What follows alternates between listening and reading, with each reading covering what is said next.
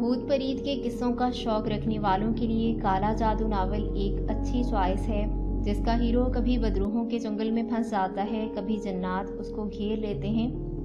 कभी जादूगर और उसकी शैतानी कठपुतलियाँ उसके लिए वबाले जान बनी रहती हैं। ये बैक वक्त खौफनाक रूहानी इसलाही नावल है। इसकी मकबूलियत का अंदाज़ा इससे किया जा सकता है कि इसकी शाद के पहले पाँच सालों में इसके तीन एडिशन आ चुके थे। एम ए राहत की तख्लीक है और पाँच सौ चवालीस सफ़ात पर मुश्तमिल है। ये एक लड़के की कहानी है जो अमीर होने के लिए किसी ऐसे शॉर्टकट की तलाश में था जो उसे रातों रात करोड़पति बना दे। इसी सिलसिले में वो एक काले जादू के आमिल से मिला। आमिल ने अगले रोज एक पुतला उसके हवाले किया और एक मज़ार का नाम बताकर कहा, अगर तुम इसको वहाँ पहुँचा दो तो ज़िंदगी भर दौलत में ऐश करोगे। मैं ऐसा जंतर मंतर तुम पर फूकूँगा कि पैसा कभी तुम्हारी ज़िंदगी से खत्म न होगा। जमीर की मुलामत के बावजूद वो ये पुतला लेकर उस मज़ार तक गया। मज़ार के अंदरूनी हिस्से तक जाने के लिए उन्नीस सीढ़ियाँ तय करना पड़ती थी। लेकिन वो ये देखकर हैरान रह गया कि ये उन्नीस सीढ़ियाँ, उसके लिए उन्नीस सौ सीढ़ियाँ बन चुकी थीं। खौफजदा होकर वहाँ से भागा भागते हुए सीढ़ियों से गिरा दो दिन तक बेहोश रहा। होश में आने के बाद उस पर इंकशाफ हुआ कि उसकी आवाज़ बंद हो चुकी है, वो खुद पर बीती हुई दास्तान किसी को सुना भी नहीं सकता।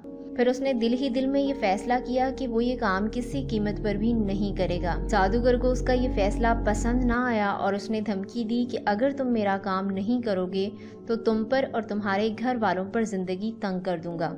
और अगले रोज से ही उसके घर पर जादू की नहुसत का आगाज़ हो गया। कभी उसके घर के नलकों से पानी की बजाय खून बहने लगता। कभी रात में अजीबो गरीब आवाज़ें सुनाई देती।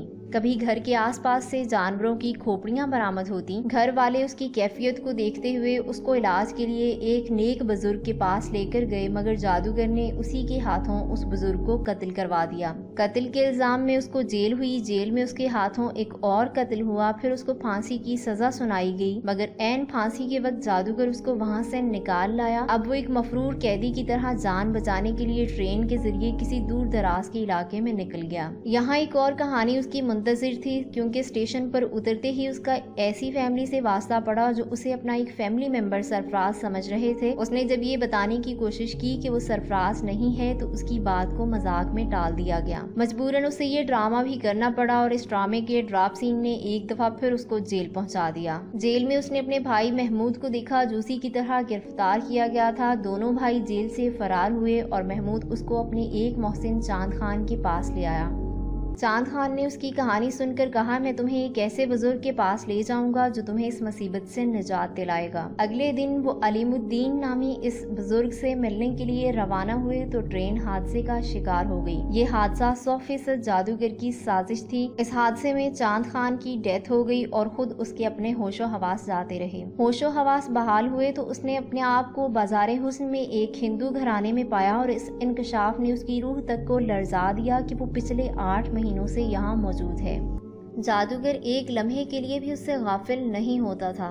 वो मुसलसल उसको कभी बदरूहों के ज़रिए डराता, कभी मुख्तलिफ़ जरियों से अजियत देता। तंग आकर जब उसने अलीमुद्दीन नामी बुज़ुर्ग से खुद से मिलने का फैसला किया तो जादूगर ने यहाँ फिर अपना जाल बिछाया और वो अपने मकसद में नाकाम रहा।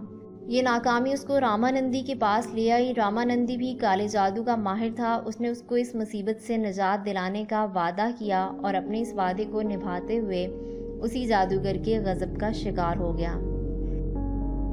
मुख्तलिफ़ आजमाइशों से गुजरने के बाद वो इतफाकन एक मजजूब से मिला जिसने उसको एक कंबल दिया। ये एक मोजाती कंबल था जिसके तुफैल उसे काले जादू के असरात से किसी हद तक निजात मिल गई। फिर उसने इसी कंबल को जादू, जन्नात और बदरूहों के सताए हुए लोगों के इलाज के लिए इस्तेमाल करना शुरू किया।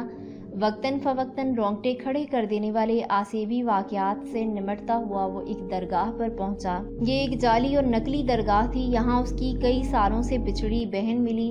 जादूगर ने उसकी बहन के ज़रिए उसकी रूहानियत को कमज़ोर करना चाहा, मगर यहाँ भी वो नाकाम रहा। इधर बरसगीर की तकसीम का ऐलान हो चुका था। बहन को लेकर पाकिस्तान आते हुए जादूगर एक दफ़ा फिर उसके रास्ते में आया। जादूगर को उसके अंजाम तक पहुंचाकर अपनी बहन को लेकर उसने पाकिस्तान की राह ली। पाकिस्तान पहुँचने पर महाजर कैंप में वो बरसों के बिछड़े हुए माँ बाप और भाई से मिला, जो जादू की उस नहूसत के तुफैल उससे बिछड़ गए थे। जो काले जादू की तलाश में निकलने वाला, कई साल घर से बाहर रहने, हज़ारों अजियतों, आजमाइशों से गुजरने के बाद घर तक पहुँचने में बिल आखिर कामयाब हुआ।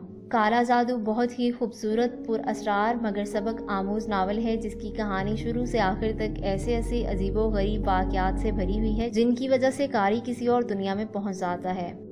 पुरस्कार जासूसी, रोमांटिक, फ़नी और सोशल नावल्स के लिए किताबी खोज को विज़िट करें। इस्लामी, तारीखी, सोशल, मोटिवेशनल और सेल्फ हेल्प की किताबों से आगाह रहने के लिए किताबी खोज को सब्सक्राइब करें।